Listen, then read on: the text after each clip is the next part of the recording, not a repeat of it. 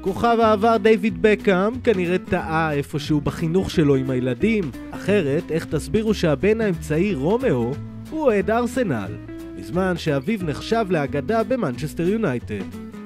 במשחק האחרון של ארסנל פגשו התותחנים בחוץ את מנצ'סטר יונייטד. אבא דיוויד לקח את בנו לצפות במשחק ואיכשהו הילד יותר התרגש מקריסטיאנו רונלדו שכבש את שערו ה-801 במשחק ואף תיעד את הפנדל של הפורטוגלי בזמן שארסנל ספגה את השלישי במשחק.